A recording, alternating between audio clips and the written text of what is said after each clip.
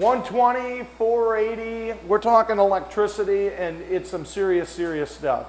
Electricity is all around us and we have to make sure that we're safe when we're dealing with it.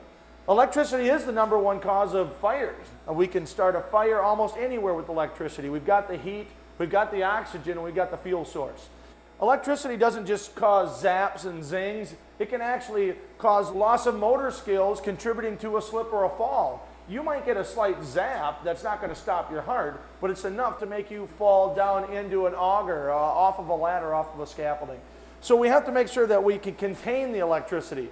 Now, Electricity is running through our plant in multiple different locations, and the only people that are going to be allowed and authorized to stop the flow of electricity and to lock it out are going to be your maintenance techs and your press operators. They're the only ones that are even allowed in this room.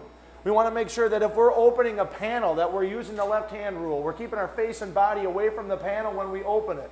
You're in there with the meter checking some things out and you have the, the meter plugged into the wrong socket or you're touching the wrong thing and you cause a spark, if you get a spark when you're dealing with 480, you could have the potential for an arc flash or an arc blast.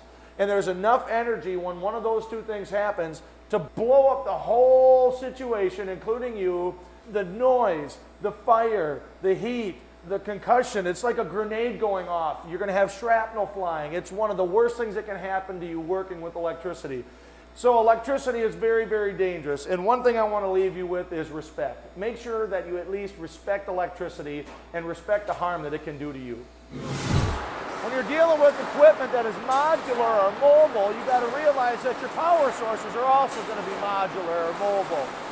You've got situations down here where we've got electrical cords that could easily get set out in the ways of fork traffic, wheel traffic, foot traffic, when you break that outer jacket and you get to the live components, you could electrify a piece of machinery, you touch it, bam, you're done. You've got portable power and you've got permanent power. Your portable power or temporary power are going to be your plug-ins and your cords. You've got to make sure that when you're looking at your plug-ins and your cords, that you don't have exposed conductors coming out of the plug. Now, when you're talking about permanent power, you're talking about conduit. These are fixed sources of power. They have a nice protective casing over them, way better than just a regular electrical jacket. But the problem is this conduit could get a crack in it. You've got to make sure if you see any breaches in the outer jackets or the plugs of any of this electrical equipment, do not run the machine. Get maintenance over here, tag out that machine, keep people clear of it until that problem is gets remedied. Extension cords are very, very useful. They can take your power source from the wall, bring it another 15, 20 feet away for a temporary project. But remember, it is a temporary fix. Extension cords can also be dangerous if not used properly. Cuts and tears in the outer jacket could actually electrify you or a piece of equipment so that when someone touches it, they get electrocuted. If one of these extension cords is laying in water, we could electrify the whole area. We could short circuit things, blow fuses, uh, trip breakers, when you're dealing with water or situations that we may come in contact with the electrical source, you're going to want to use GFCIs.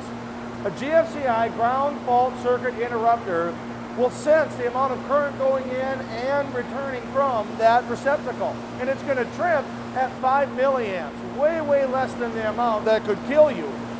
Another problem with extension cords is they can be a trip hazard. We have to make sure that we keep them in an area where we're out of foot traffic so there's not trips and falls.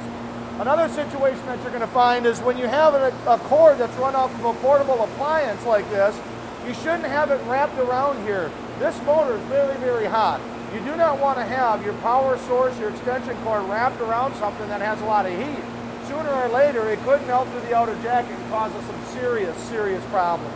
So remember, we've got a lot of power running through these extension cords, but you've got to realize less than one amp can stop your heart. And that's all it takes. So make sure you're using these properly to keep you safe and keep the equipment running the way it should be.